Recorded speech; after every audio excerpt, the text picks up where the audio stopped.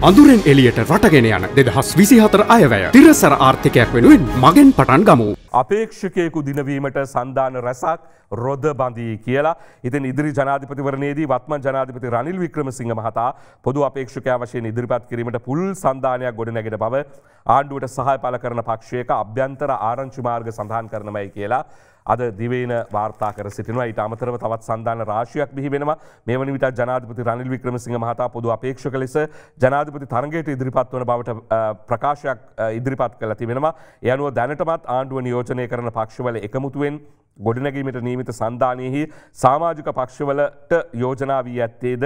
ජනාධිපති රනිල් වික්‍රමසිංහ මහතාට සහය පල කිරීම බවත් එම ආරංචු මාර්ග කියන ඉතින් මේ වන විට ශ්‍රී ලංකා පොදුජන පෙරමුණේ බහුතර සහය රනිල් වික්‍රමසිංහ මහතාට පල කළ යුතු යන මතය නිර්මාණය වී තිබෙනවයි කියලා කියන ඉතින් දීර්ඝ විස්තරයක් දක්වලා තියෙනවා.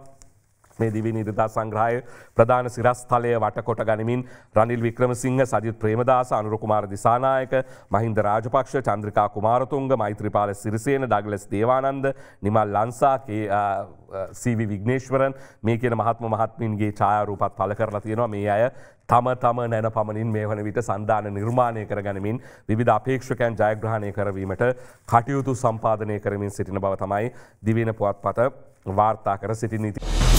අද දෙරන YouTube නාලිකාව YouTube අද දෙරන දැන්ම සබස්ක්‍රයිබ් කරන්න.